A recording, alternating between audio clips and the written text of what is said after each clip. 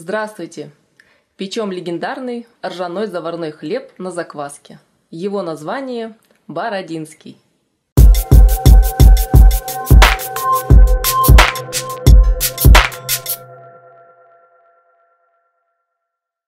Мы испечем с вами настоящий бородинский. Технология и рецептура этого хлеба по советскому ГОСТу. Только я исключила хлебопекарные дрожжи, которые хоть и в минимальном количестве, но добавлялись в производстве. Но от этого Бородинский только выигрывает во вкусе и пользе. Процесс приготовления этого хлеба занимает достаточно продолжительное время, но результат однозначно стоит потраченных усилий. Аромат и вкус бородинского хлеба покоряет навсегда.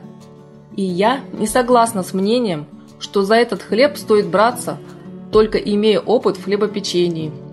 Соблюдайте все условия и следите за консистенцией опары и теста. И у вас получится настоящий бородинский. Итак, мы приступаем.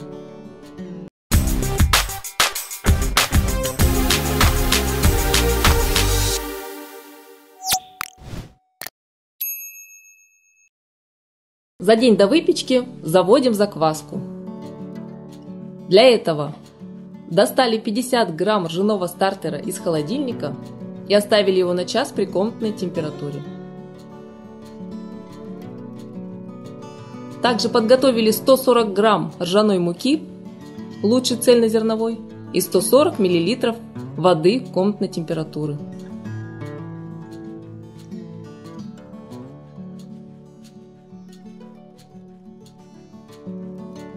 Просеиваем в чашу к стартеру муку,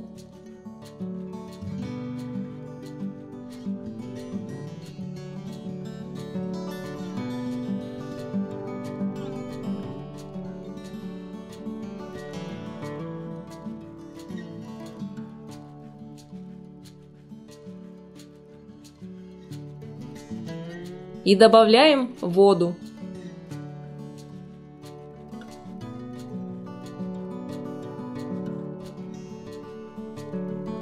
Все хорошо перемешиваем.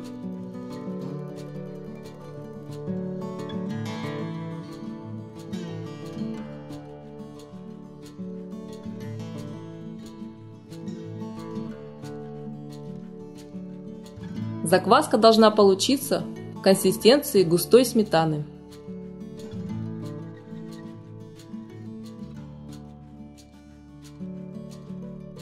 Накрываем закваску и оставляем стоять 14 часов. Лучше это сделать на ночь.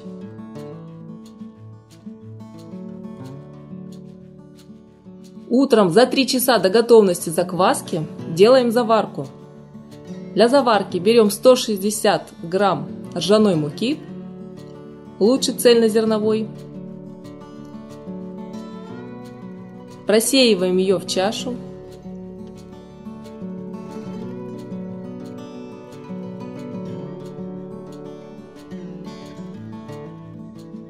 Добавляем 50 грамм ферментированного ржаного солода.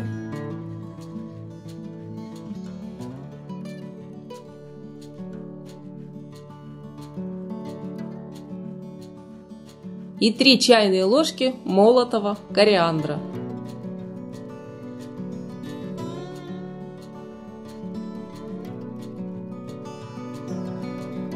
Все перемешиваем.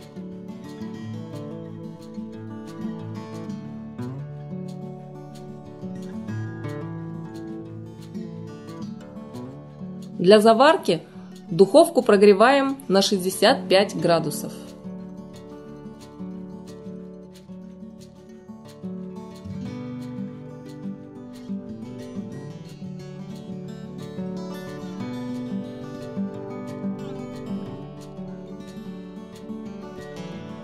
В отдельную стеклянную чашу отмеряем 500 мл кипятка.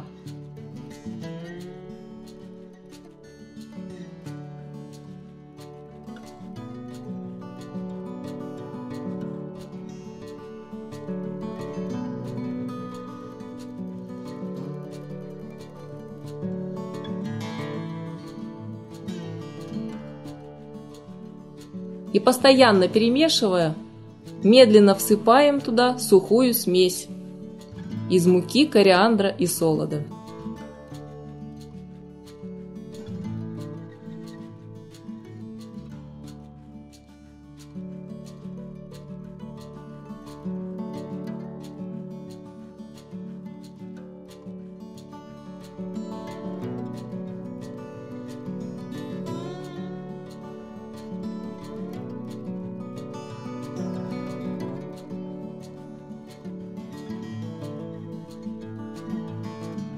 Заварка получается вот такой консистенции.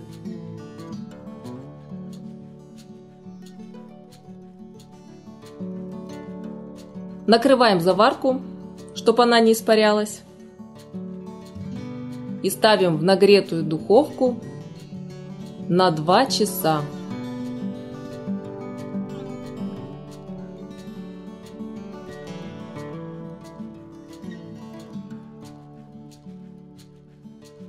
Через два часа вытащили заварку из духовки и дали ей остыть до комнатной температуры. На это ушло около часа.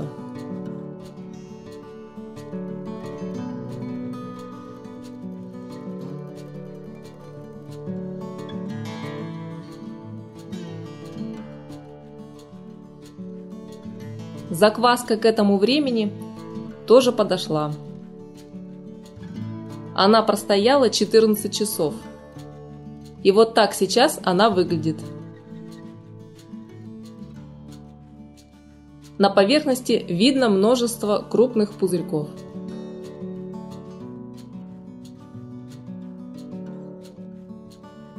Теперь готовим опару. Для опары понадобится 340 грамм ржаной муки, лучше обдерной, и возможно 100 мл воды но воду пока не добавляем.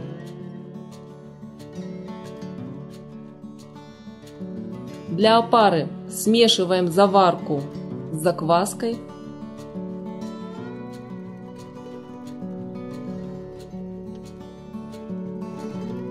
Просеиваем туда же муку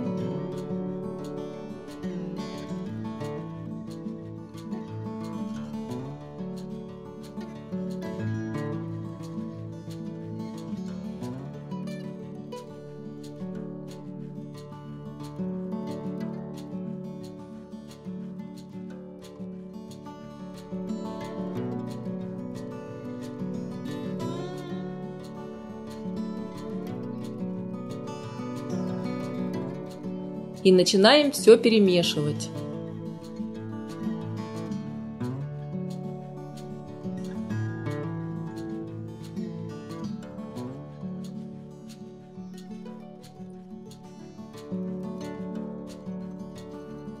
А пара должна получиться густая.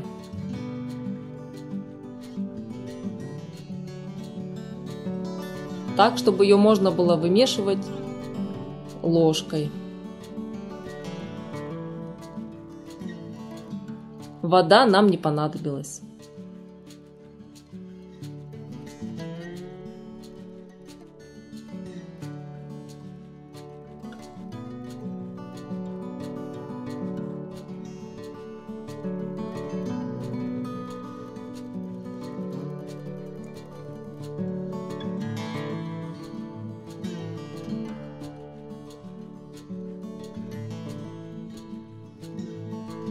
Накрываем опару и оставляем в теплом месте на 3 часа. Объем опары должен увеличиться в два раза.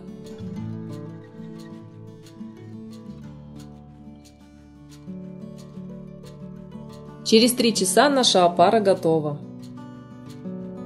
Вот так она сейчас выглядит.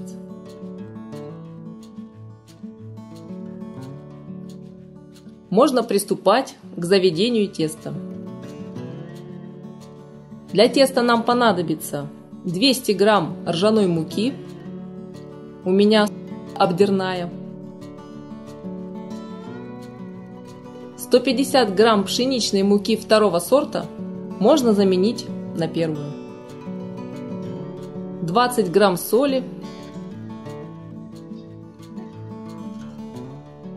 60 грамм сахара,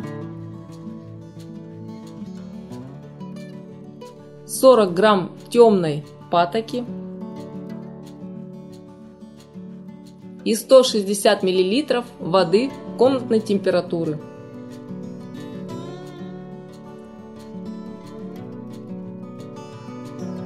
Для начала патоку и сахар разводим в воде.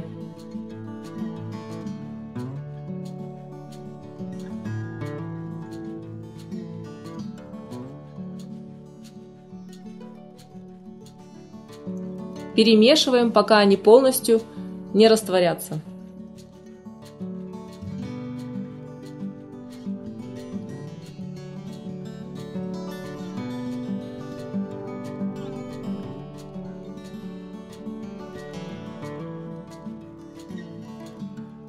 Добавляем патоку и сахар к опаре.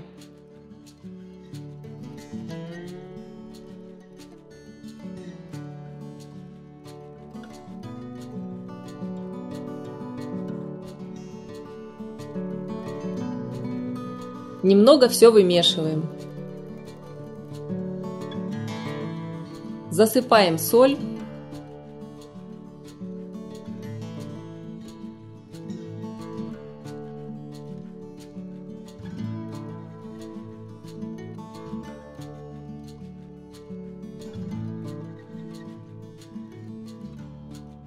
И просеиваем всю муку.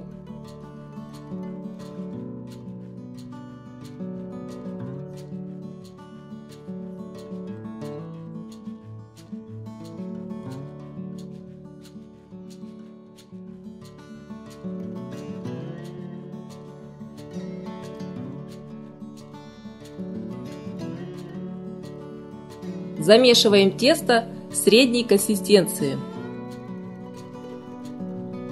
Так как в тесте почти только ржаная мука, оно остается сильно липким.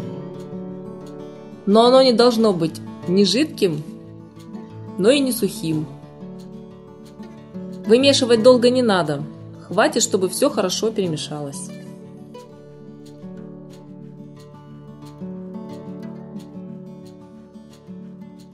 Когда перемешали тесто, разравниваем немного по поверхности. Накрываем и оставляем в покое на 30 минут. Пока отдыхает тесто, подготавливаем формы для выпечки. Для этого растопленным сливочным маслом смазываем дно и бока формы.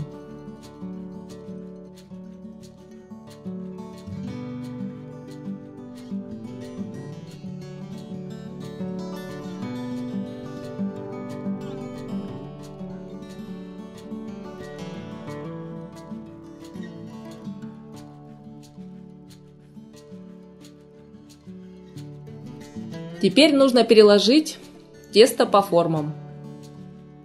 Чтобы переложить его в равных количествах, нужно заранее запомнить вес тары. На дно форм можно насыпать немного целого кориандра.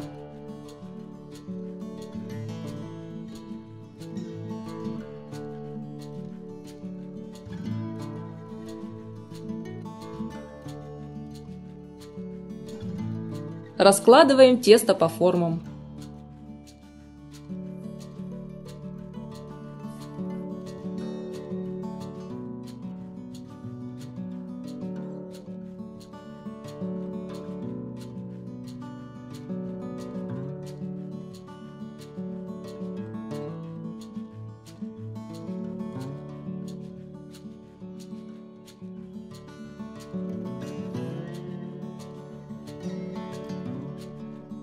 Теперь нужно разгладить поверхность теста.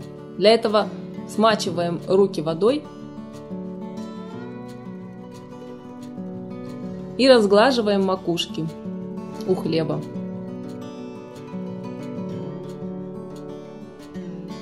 Это нужно для того, чтобы поверхность хлеба была ровной и гладкой.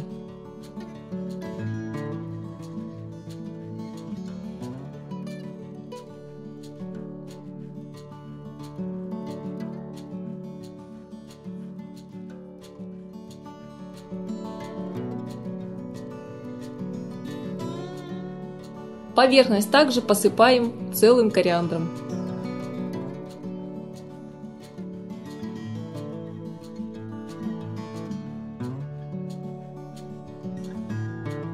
И чтобы кориандр не обсыпался у готового хлеба, придавливаем его на поверхности.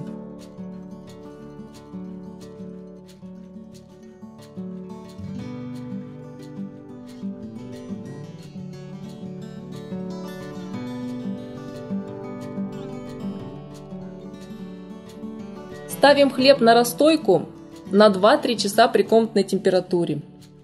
Объем должен увеличиться в два раза. Я для этого использую выключенную духовку.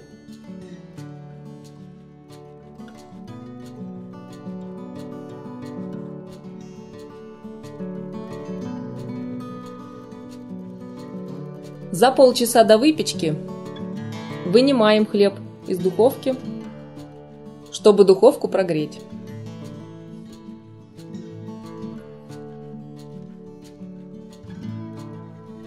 Ставим решетку для форм, а снизу противень для пара. Духовку включаем на 240 градусов.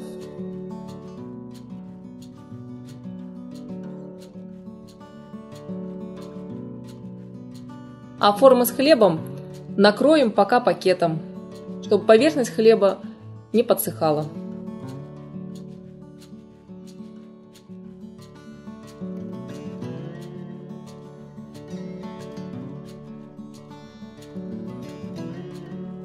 Перед выпечкой подготовим кипяток для пара.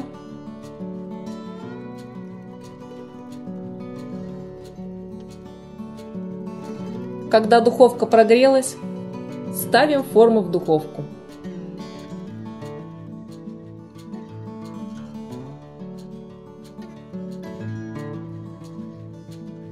На нижний противень выливаем кипяток и создаем пар.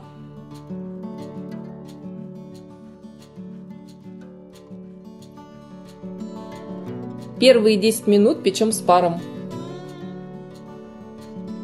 Через 10 минут снижаем температуру на 200 градусов.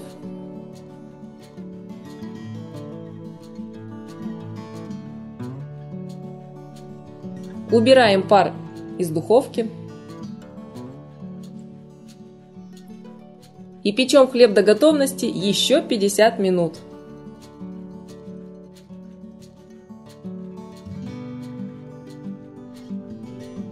Готовый хлеб достаем.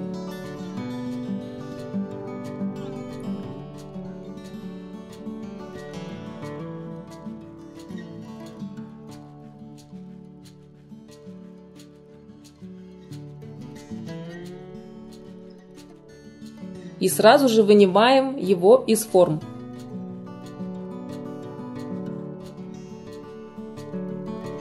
перекладывая на решетку. Хлеб полностью остужаем на решетке. И лучше разрезать его только на следующий день, так как он еще сильно липкий.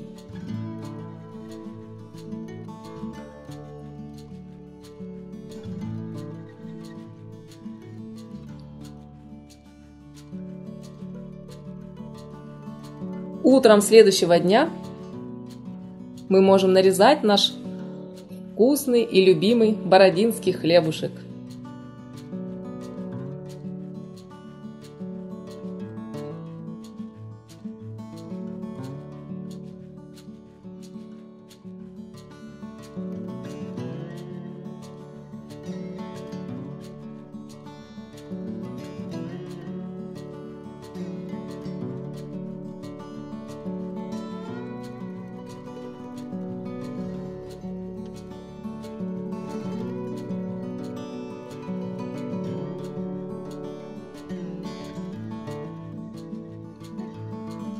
Надеюсь, просмотр этого урока даст вам хороший результат по выпечке настоящего ржаного заварного хлеба. Делитесь этим в комментариях или задавайте вопросы. Обязательно отвечу. А на сегодня у меня все. С вами была Анна. До новых встреч на канале.